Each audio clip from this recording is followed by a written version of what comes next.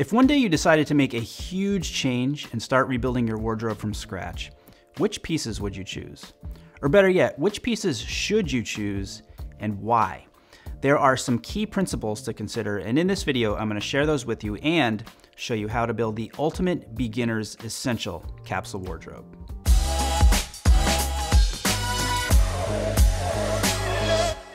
I'm Brian Sacawa, and you are watching He Spoke Style, where we've got all the tips, knowledge, and inspiration you need to dress well, have more confidence, and unlock your potential. If you've gotten to that point where you are ready to make a change, where you're ready to make that commitment to improving or upgrading your wardrobe, you want to know, right, what are the pieces that I need? If you're going to spend the money, you want to know that one, you're buying the right things, and two, that you will be able to get a ton of use out of those items. What's the point of buying something or investing in something if you're only going to be able to wear it one way, especially since what you're really investing in is yourself. So, what we're focusing on here are those foundational pieces that once you have, you can continue to build out from there.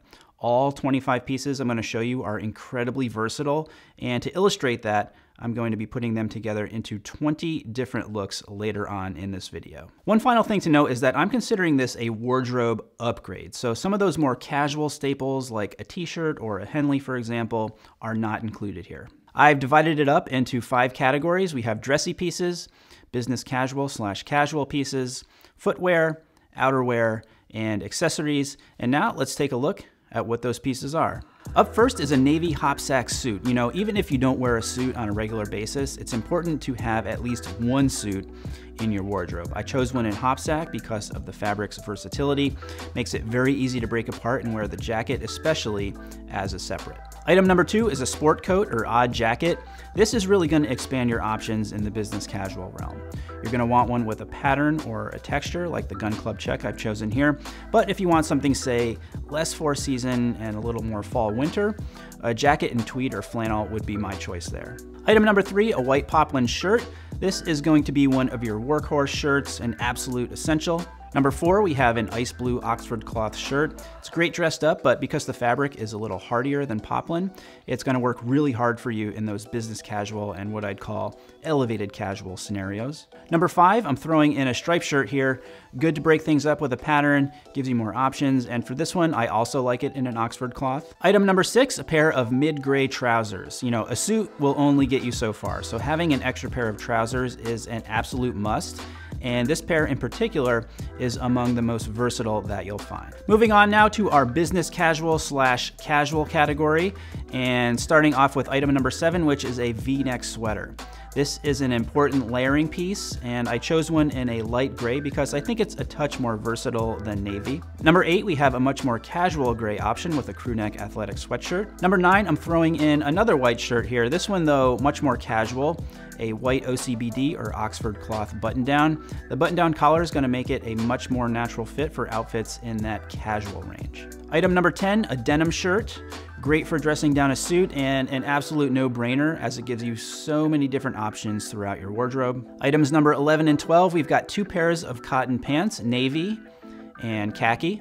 Then items 13 and 14, two pairs of denim jeans, dark denim, which will be the most versatile pair, and then light denim to cover the more sporty and casual side of things. On to footwear now. Number 15, we have a pair of dark brown Oxfords. 16, pair of leather tassel loafers. 17, burgundy cap toe boots. And then rounding it out with 18, a pair of white leather sneakers. Moving on now to outerwear and item number 19, we've got a navy overcoat.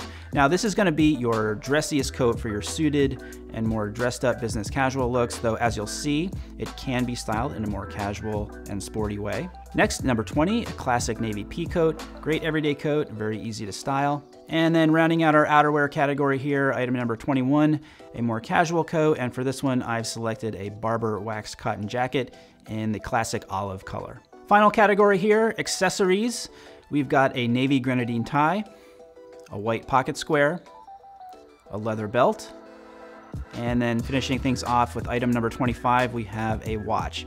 Not to get too specific about brand because that will be so variable between different people, but just to focus on watch style for a second, you want something that's gonna be versatile. So we're talking simple dial, and then whether you choose a leather strap or metal bracelet just kind of depends on your overall aesthetic. For the purposes of this scenario, I'm choosing one on a brown leather strap, and I'll leave some options at various price points down below in the description. Okay, cool, 25 pieces. Now, what can you do with them? Well, let me show you just 20 different outfit ideas and possibilities.